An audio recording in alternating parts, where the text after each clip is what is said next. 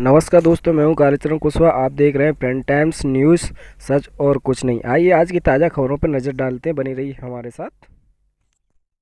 जिला भिंड थाना रौन ग्राम बोहारा में एक कुआ में एक अज्ञात पुरुष की लाश मिली जिसकी पहचान अभी तक नहीं हो पाई है। रौन थाना प्रभारी सुनील सिक्रवार पटवारी मुन्नालाल ने कुआ में लेकिन अभी तक लाश की पहचान नहीं हो पाई। रौन थाना प्रभारी पटवारी मुन्नालाल लाश निकलवाने में अभी तक लाश की पहचान नहीं हो पाई। रौन थाना प्रभारी और आरक्षकों की लाश निकलवाने में अच्छी भूमिका रही।